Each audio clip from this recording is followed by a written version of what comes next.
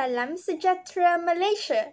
Hi, my name is Loo Yu Han and I'm from SMK Sultan Abu Bakar. Today, I will be talking about the role of engineering in community development. So, engineering plays a vital role in shaping communities by providing essential infrastructure that supports economic growth and improves quality of life.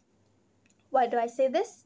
Because well-developed transportation infrastructure is crucial for economic development and connectivity.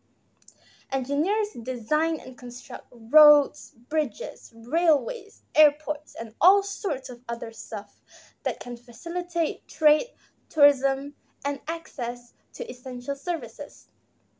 For example, the construction of highways and railways can connect rural areas to urban centers, creating new economic opportunities and improving access to healthcare and education. For example, reliable and efficient energy infrastructure is essential for powering communities and supporting economic growth. Engineers design and build power plants, transmission lines, and distribution networks that can ensure a stable supply of electricity.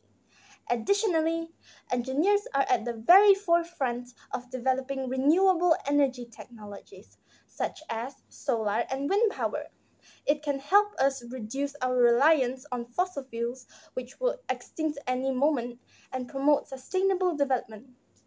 In conclusion, engineering plays a crucial role in driving community development by providing essential infrastructure that can support economic growth and improves quality of life.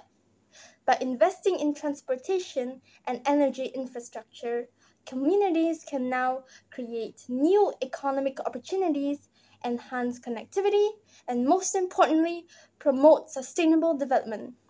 That is all from me today. Thank you for listening, everyone. Goodbye.